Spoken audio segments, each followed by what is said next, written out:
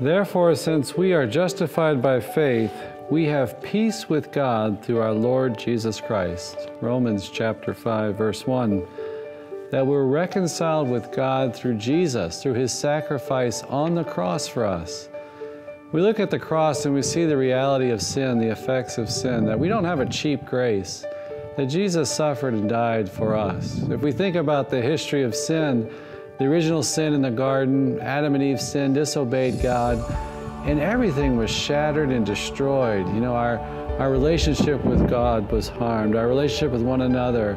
Even nature rebels against us. And even man within himself, there's a disorder now. We have a harder time controlling our passions. They're not under, they're not guided by reason easily.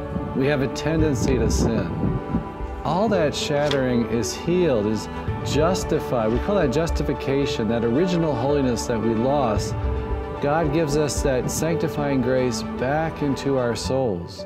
And even something better than what we originally have is what we have in Jesus Christ. You know, we have this new reconciliation with God, this new peace in Christ that we've been given to us.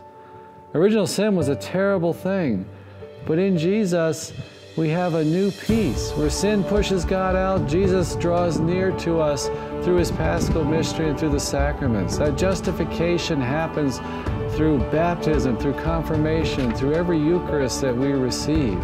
We're drawing closer to the Lord. We're being transformed. We're being incorporated into his body. And we can know peace. Because sin, sin brings chaos, it brings wreckage. Peace comes from holiness, comes from justification, belonging to Christ. May the Lord give you his peace.